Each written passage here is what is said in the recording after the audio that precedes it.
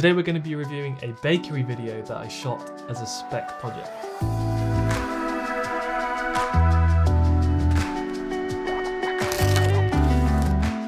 Hey guys, my name is Tom. I'm a videographer here in the Hampshire and London area of the United Kingdom. Um, today we're going to be reviewing a spec bakery video that I just shot. Um, I want to figure out what went well, what didn't go well, and everything in between. We're going to be doing a deep dive. Um, basically, with the, the end goal, um, would a client be happy paying for this? And that's what we're going to figure out. Let's watch the whole video through and then we're going to talk about it after.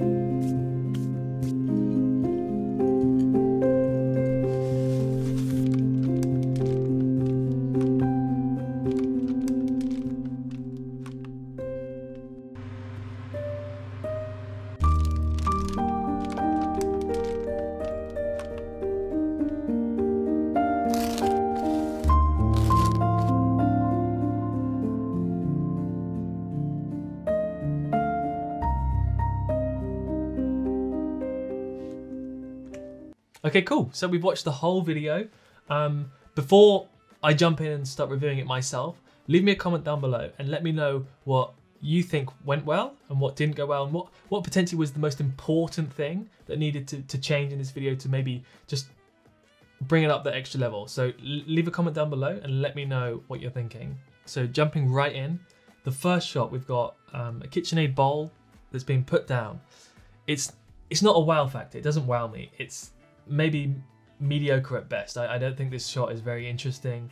I understand it's it's the beginning. It's like we're putting down the KitchenAid. Everything's gonna we're gonna chuck all the stuff in, but it's just not. It doesn't wow me, and I feel like that it needs to wow me. And the, it's the beginning shot. Everyone's gonna see. If if this shot isn't great, maybe people are just gonna click off the video. So this is something that I think needs needs to be redone. Very very similar to the opening shot. Um, this sourdough shot where we're I'm okay with the framing. The framing's nice, the lighting's nice.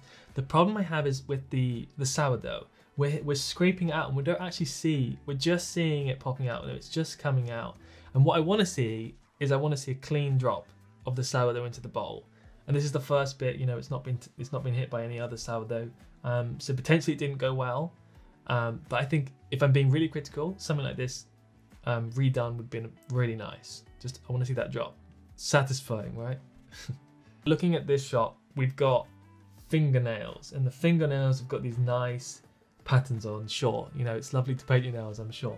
But I don't think in a, in a baking video, we want colourful fingernails and rings.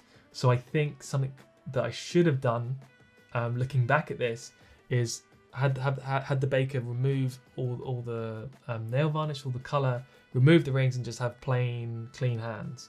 Um, this isn't the biggest thing in the world, but if we're being really critical, um, this is something that definitely I should have. Looking back at it, I should have I should have seen and picked up on, but it's fine. This happens um, throughout a couple times. I think we're basically seeing the reflection of the softbox in the in the reflect. You know, the, the bowl is a reflective material. It's a giant piece of glass. Um, so I think what we need to do here is instead of having the softbox pointing directly onto the object, if we turn the softbox and bounce it off of a bit of material, maybe a white bit of card or, or anything, if we bounce it, we're not going to get that harsh out, out, outline of the, the, the softbox. And that would have just gotten rid of the reflection and, and we would have had still the same amount of lighting. Um, the problem with doing that is we would need a bigger light, a much more powerful light, because if you're bouncing light off of something, you're going to need a lot more light to, to when it's when it's coming back, you're getting the same amount as if you were just facing it. Okay, so this is a very um, debated topic. Um, should you have a cat in a in a cooking video? Between people I've shown this to, people have said yes, people have said no, and in the end, it was it was up to the client, and the client is the baker, and it is the baker's um, the baker's cats. She wanted to have um, the cats in it. You know, at the end of the day, you're you're here to make the client happy, um, and her personality. I think the biggest part is her personality revolves around her cats. You know, she's very um, everything for her is cat centered. She loves cats. So to, to, to throw the cat in there for her is a big plus, and it, it brings up her personality more. Then you've got the people saying, but you've got cats and it's not sanitary. I think that we're, the fact that we've mixed it with the, the washing of the hands, so it's very close to showing that you know you are washing your hands constantly as you're making as you're making this this um, sourdough. I think it's fine, um, and I think for this video and for this client it works. So, okay, so this is a good thing, and this is this is this is potentially my favorite shot. It's the transition as we pull the dough from the bowl. Um, it's two different shots cut together basically. First shot um, from the side, and it's just picking up the dough, and it's not even uh, pulling it up. I think it's just a slight pull, and I cut it with a shot where it's it's being pulled from top to bottom. So this is something to look out for when you're shooting your videos. Pre-plan what you're thinking. If if you can see a potential, if you've only got one camera like I had, and you can see potential to make it look like you've got more than two cameras on the shot and make it look much more professional, do it.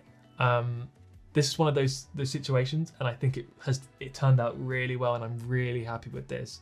Okay, so this this is the problem throughout the video, and it's more of a um, overall problem than a specific problem in one shot. Um, we're having problem with the focus here. The focus is very shallow. I think this is like an f 2.8. Um, the lens is a 50mm 1.4, but I think I'm shooting 2.8, maybe maybe two roughly. So we're very shallow. We're only getting a small slither of focus of what we want. Um, and I think looking back at this, it would have been much nicer on all the food shots. All the wides, fine, 1.4, 2.8, fine. I'm more than happy with that. Nice, you know, shallow focus and there's all the backgrounds blurred. That's fine. What I'm, what I have a problem with is on the on the close-ups of the food. I want to see the whole piece of food, not just like this small strip where the focus is. And I think bumping my um, my f-stop to maybe like an f6 on this, which would, which would require a lot more light, which I didn't have at the time, so I couldn't do, but I would require more, a lot more light to get um, f6 as exposed as nicely as this, but it would have been, it would have done so much for it. The, you would have the entire piece of bread in frame, um, and it, I think it, it, it really would bring up the quality of this video if on the at least on the close-ups we're, we're shooting in a, in a, in a f-stop at f6 or something like that. Um, so that's definitely something. So this isn't necessarily a problem, um, but when I filmed this, I didn't actually have a microphone. The microphone I'd ordered um, was in the post and it hadn't arrived yet, and I just received the camera. Um, so I'm recording with the onboard microphone, and I'm, obviously I'm not using it in any of these shots. It's just there to um, help me on the edit to link up the shots and link up, you know, where's the crunch? Oh, it's there. Okay, now I can, when I do my Foley, I go back and re-record sounds. I can add it in.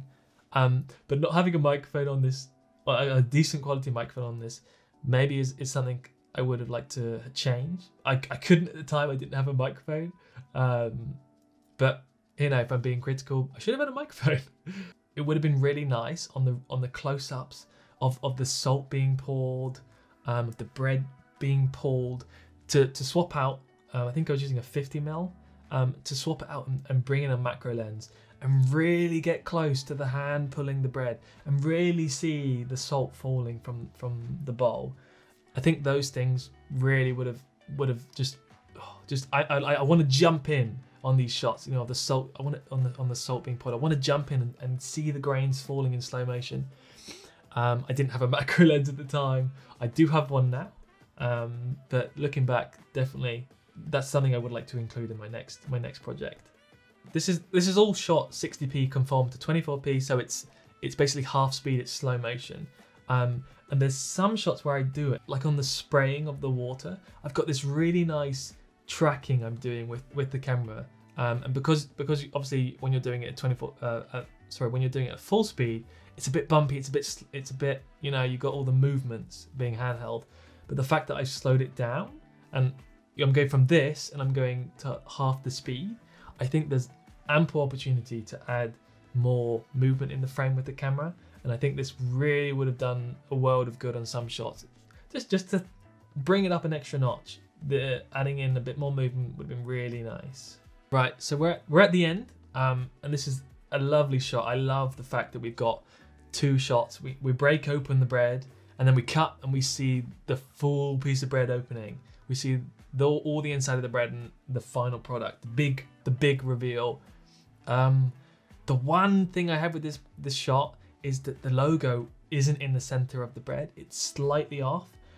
And between centering the logo in the center of the bread and then it wouldn't be in the center of the frame. Um, and then if you wanted it in the center of the frame, I would have to crop in and lose most of the, the shot of the bread. It wouldn't be nice, nicely framed anymore. So I think what we've got is the best of the situation, but it would be really, really nice to have the bread perfectly framed um, and also the logo dead set in the middle of the bread, also dead set in the middle of the frame. Um, but that's just that's really nitpicking, and I, I'm I'm really happy with this this end shot as it is. Overall, are we happy? Am I happy with the video? I'm happy with how this turned out.